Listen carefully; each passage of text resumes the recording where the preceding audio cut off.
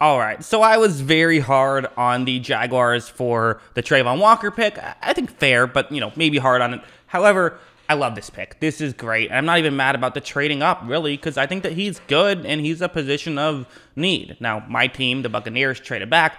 I like that. We have more holes and we're just in a different situation.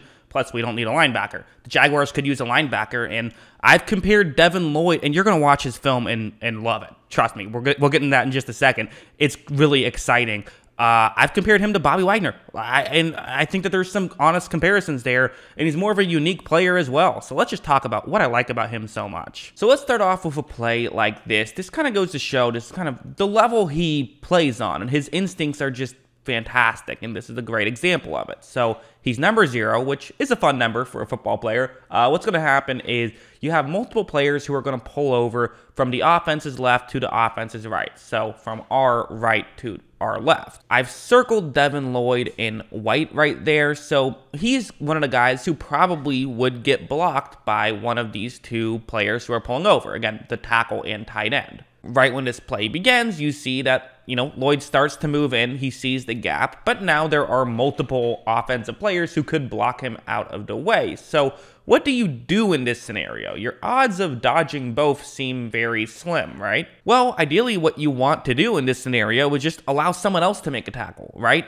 The run game is all about teamwork, and you have to do stuff to allow other players to be able to make the tackle sometimes, and that's what Lloyd is going to do. Watch him really just get create contact with the tight end, even though the tackle was the one who was going over and trying to make that initial block on Lloyd. In doing this, what it allowed him to do is kind of take away both of those two offensive players. And now the other teammate, the other Utah player for Lloyd, uh, he is able to clear up the other gap. And for the running back, there's just nowhere else for him to go. So this is just good decision making from Lloyd and good instincts from Lloyd. Not just that, but Lloyd eventually fights through and still is kind of the guy who at least helps make that tackle. So that's just an incredible play from Lloyd. And I'm telling you, when you watch his tape, these plays just jump out at you. I mean, his tape looks like a highlight reel, even though it isn't. There's so many just spectacular plays on his tape. Like something like this, which is kind of a, a less traditional play, but this is still something that's cool and good. And again, he's great at the traditional stuff as well,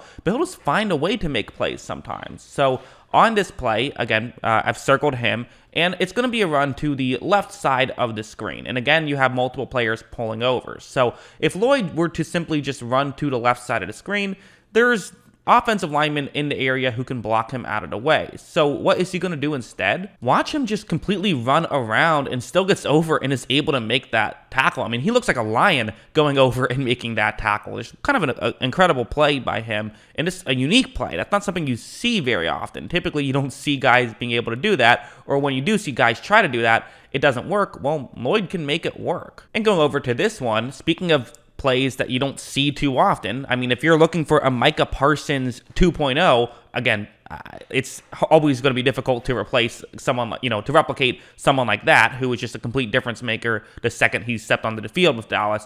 But Lloyd has some similar tendencies, and one of those similar tendencies is on this play in the pass rushing game. And I want to be clear there's, you know, typically when people say pass rushing linebacker, they mean someone who can just run in and, you know, get make a tackle, someone who can sort of be a linebacker, look like you're an off-ball linebacker, but then right when the play starts, you all of a sudden are rushing the passer, and maybe a halfback is trying to block you, and you can get around them pretty well and get to the quarterback that way, which you know, Lloyd can do.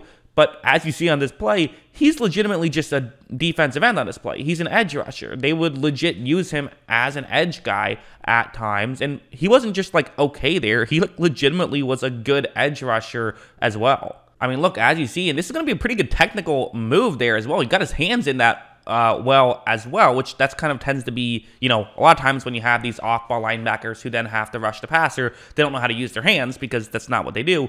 Well, Lloyd has done this enough; he knows how to use his hands. So there is that versatility with Devin Lloyd that's very interesting to me and very exciting to me. Meanwhile, for his coverage ability, there's a reason I've compared him to Bobby Wagner at times because of what he can do in coverage, especially. That's where the Bobby Wagner comparisons jumped out to me because he's just such a great middle linebacker, especially in coverage, where you have a receiver who's going to run a curl route that's going to get just a little bit uh, underneath Lloyd's zone here, and this is something that you can do. This is something that makes sense. The offense just has someone run underneath. You kind of, you know, get a wide receiver on a linebacker. Maybe you can make a move and pick up more yards, but you can at least gain some yards. It's a third down and short, and that's what you want to do. You want to get to the 40 yard line. And look, right when this play begins, you see the quarterback, you know, his first read was somewhere else, now gets over here, sees, okay, let's make this throw.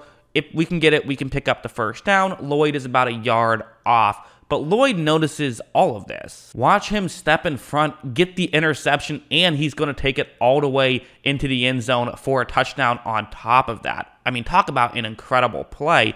Yes, this is a highlight reel level play. Typically, I don't like to show guys highlights, but uh, you know, I like to show just kind of their average plays because I think that matters more. People get too people. I think people pay too much attention to highlights at times. But what excites me about a guy like Devin Lloyd, and the reason why I do have him as such a great prospect, is he is someone who, in my opinion, he is more than capable at making those splash plays, making those explosive plays, but he also does all of the little things well, which is why I'm, I'm so excited by him. Finally, something like this, you know, the guy can move as well. That's another thing that he can do well, and part of that part of it is good instincts. He's constantly putting himself in the right position where this is going to be just, you know, you know, a screen pass to the offense's left I've circled Lloyd. Watch how quickly he's going to get over there. I mean, look, as you see, once this ball gets thrown to that side of the field, Lloyd is able to get over there, dives, and makes the tackle. Lloyd did it all for the Utah defense. He was constantly in the fold. Every play you watched, he was doing something.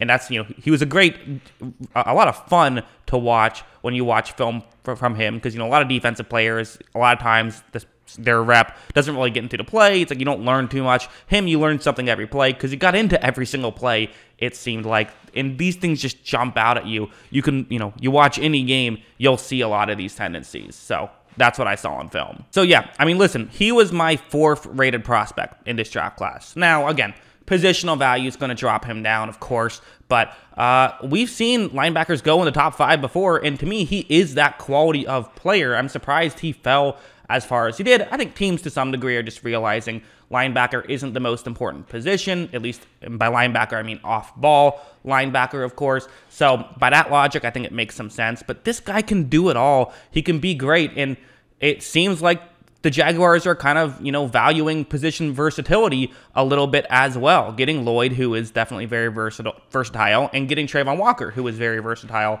Uh, that should make for some real trouble for opposing offenses. So the Jaguars defense, which has to get better, should get better with these selections, is what I think. Uh, what do you guys think? What are your thoughts on Devin Lloyd to the Jaguars? I like this pick, but what do you think? Let me know in the comments below. Always love hearing from you. And of course, as always, Thanks for watching.